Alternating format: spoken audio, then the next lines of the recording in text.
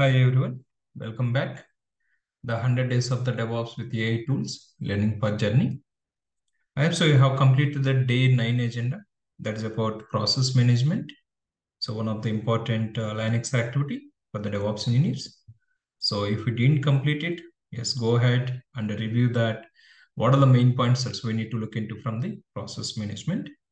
But in this video, we are going to discuss that the day 10 agenda that's about package and service management.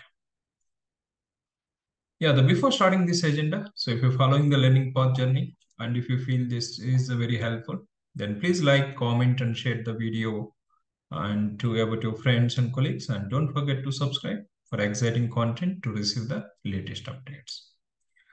Yeah, now let's go ahead to understand the day 10 agenda. Yeah, if we come back to this about our Linux forum links, yes, all, yeah, we are continuing that's all these uh, activities, and now we are in that the day 10 agenda. So day 10, so that's help about it.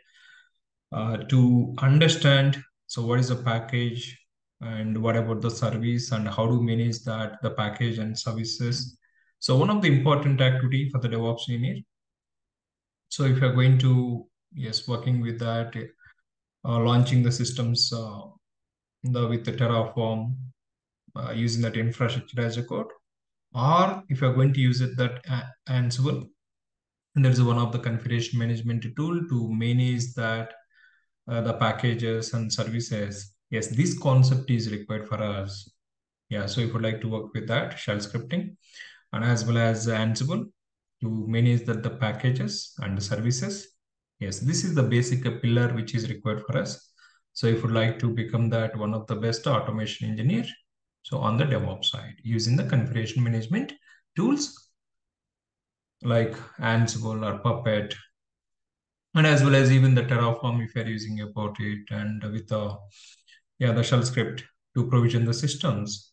Yes, this is the one of the basic input that's required to understand it. Yes, let's go ahead so like how we are having that's this agenda. So from the Ryzen yes. So we have this on the package management, uh, the one video that is introduction about the package management. So yes, like uh, uh, what exactly uh, the package management and understanding that.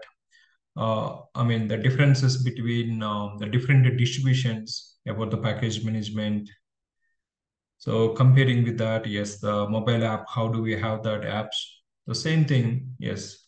So on the Red Hat or uh, uh, the Debian-based distributions, yes, how do we manage the, the packages?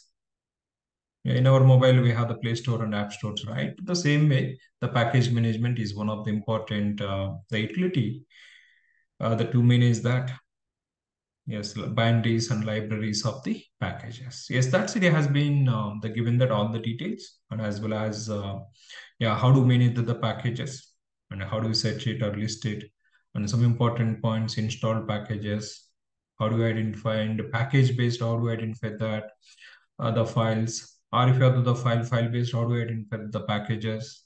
Yeah these are all the very very important commands. It is not just uh, uh, install and some uh, the package name. So not enough, yes. So if you're good on the, the Linux, then whenever we are working with that, um, there's configuration management tools like Ansible and Ansible modules with the task. Whenever we are working, that helps more. Yeah, so all the details about the package management, that you can find it here. And the comparing with that, the Red Hat and the Debian. Debian also it has been given that so some important points because uh, so whenever we are provisioning the systems, it has to be dynamically handled that uh, the Red Hat based packages or Debian based packages. Yes, that city has been explained. And uh, next is once packages have been installed, but some of the services, yes, like um, the middleware services, web services, database services, the service management is also very, very important concept. Yes, that is uh, uh, how to manage the services so that complete uh, the different uh, yeah service uh, systemctl is that's one of the important utility. So identifying about it, enabled enabled the services or disabled services. And if you'd like to, yes, uh, check the status of the services or starting, stopping. So all the data has been given the details. So one complete lab you'll be having that. And as well as not only that, the practically to understand about the package and service management, the Apache service, the detailed step by step that has been explained. Yeah, so that is about you are going to learn it in this today's uh, agenda. So yes, please go ahead and try to add it all these concepts. And if you would like to become that, the master on DevOps with the cloud. Yeah, if you'd like to uh, enroll to this course. Yes, so this is the link. I'm going to share it. The way uh, you will get it all these points, whatever I'm talking that. Yes, um, the, we have this like um, the pre-recorded videos or online course. So whatever you prefer it. Yes, so this is uh, the number which is available, which you can ping it in the chat window in the WhatsApp. Yes, the way we will come back and will help you on that, explaining about all these points. Yeah, so that's all from this section. So yes, enjoy this like um, uh, set that agenda. So for this uh, the data that is about package and service management. Thank you. Thank you all. We'll see this in the next section.